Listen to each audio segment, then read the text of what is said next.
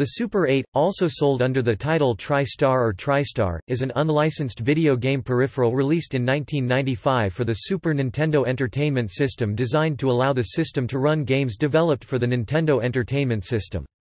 The Super 8 utilized an NES on a chip-integrated circuit to duplicate the functionality of the original NES hardware, and connected to the SNES's own cartridge slot.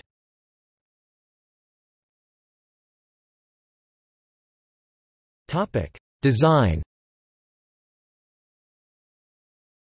The Super 8's appearance is a light gray, squarish adapter that is plugged into the SNES so that the user is allowed the playing of 8-bit NES and Famicom games on the device. It has an RF out and a SNES-type multi-out connector providing RCA output. A lead goes from the TriStar to the SNES multi-out port, and then the user is able to plug the SNES A, V lead and or RF lead into the TriStar. When playing a SNES game, the TriStar passes through the SNES composite video picture. The Super 8 features three cartridge ports.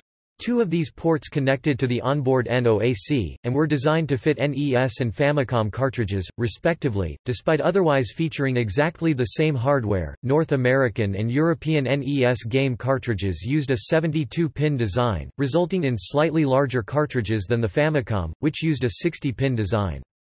The third port was designed to fit standard SNES cartridges, and merely connected with the SNES's native hardware, so that the user would not have to remove the Super 8 in order to play SNES games. A similar idea was later employed for the TriStar 64, an accessory for the Nintendo 64 console with the ability to play both NES and SNES cartridges.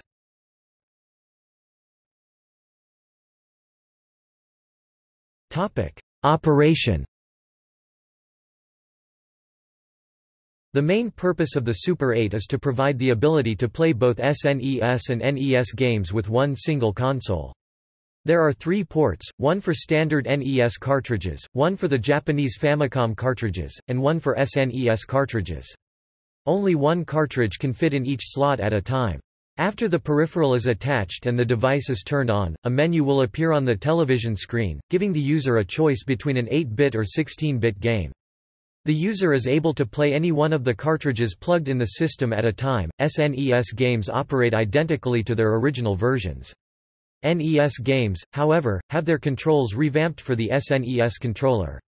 The Super 8 also plays Super Famicom games, as there are no tabs to block the insertion of the flat-back cartridges.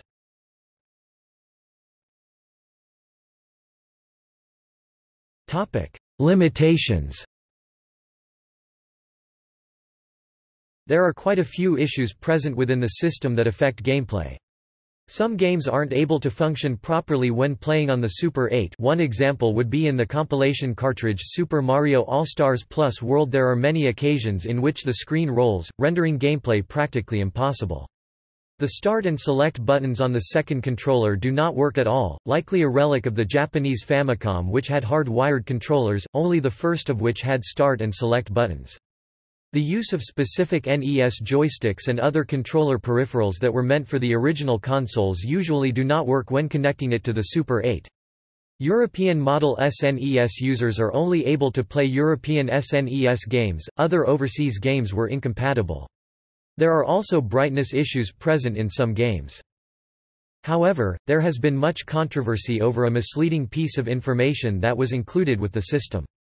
The instruction booklet for the Super 8 apparently claims that the Super 8 provides RGB output, however this is actually false. There is no RGB support for the peripheral at all, as the pass-through lead that is plugged into the SNES multi-out only carries composite video and stereo audio.